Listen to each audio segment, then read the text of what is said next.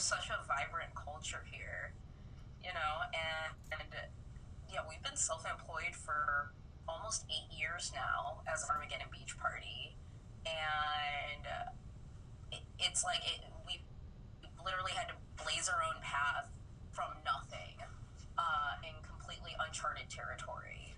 We're definitely part of that uh, that like counterculture, do-it-yourself community, and then we're also part of like the professional like gallery community as well. So we kind of like bridge that gap. In terms of uh, our own work, we work in a lot of different mediums. Uh, just because different ideas call for different approaches and we don't like to, to stagnate. Um, we're always trying to improve and like uh, further what we're able to do with our work. And although we work in a few different styles, there's still a very strong sense of continuity between them. Like a, a stylistic foundation that like, that goes across.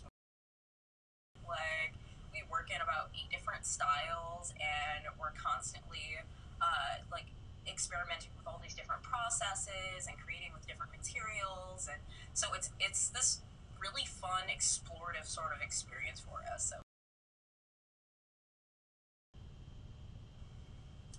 I mean, I'd say really our our work is, uh, in essence, sort of an extension of us.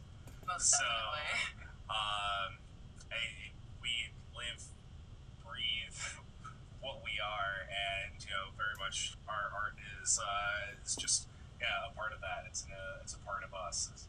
So it's really just everything that we do is the two of us uh, just pouring all of ourselves into what we do, uh, into what we're creating, and um, that blending together as uh, as one unit.